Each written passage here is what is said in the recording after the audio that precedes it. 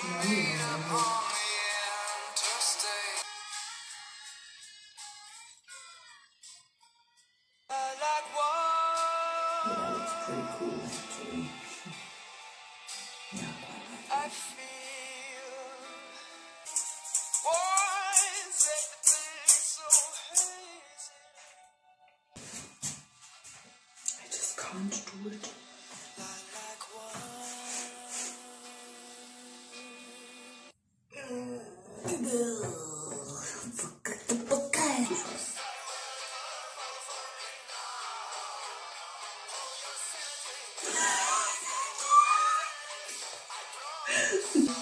need to get into my body. My body says, my body says, not yet. Devil, he says, start wearing purple. Why don't you start wearing purple?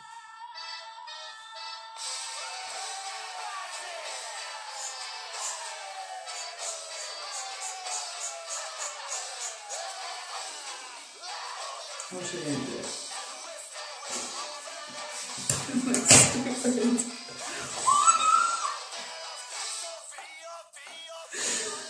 Oh, it's pretty.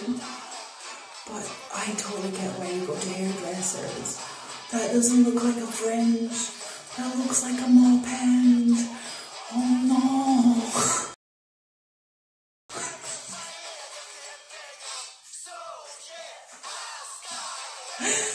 This needs to be brushed a little bit. I think gonna brush a little bit.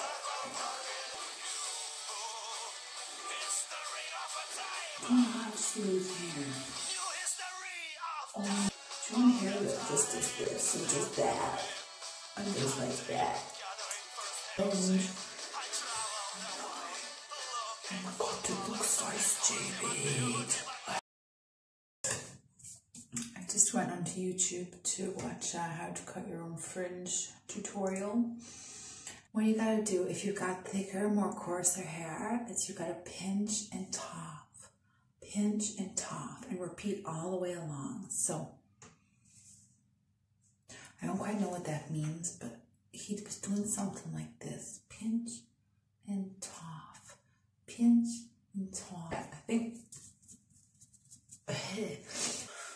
Worzel Gummidge. That's who I look like. Worzel Gummidge.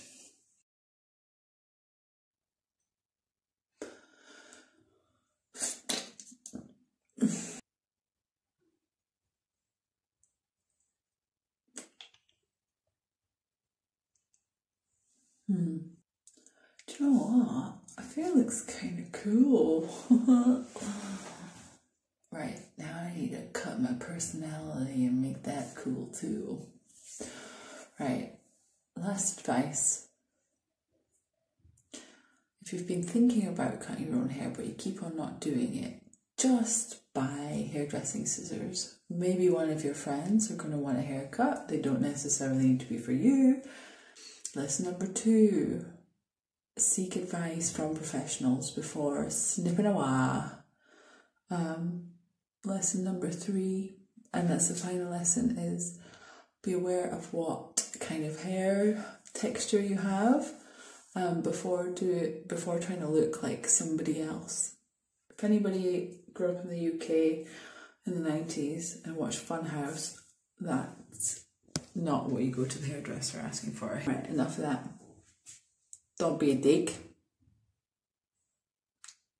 What's my slogan? I think it's just don't be a dick. Don't be a dick. Ciao.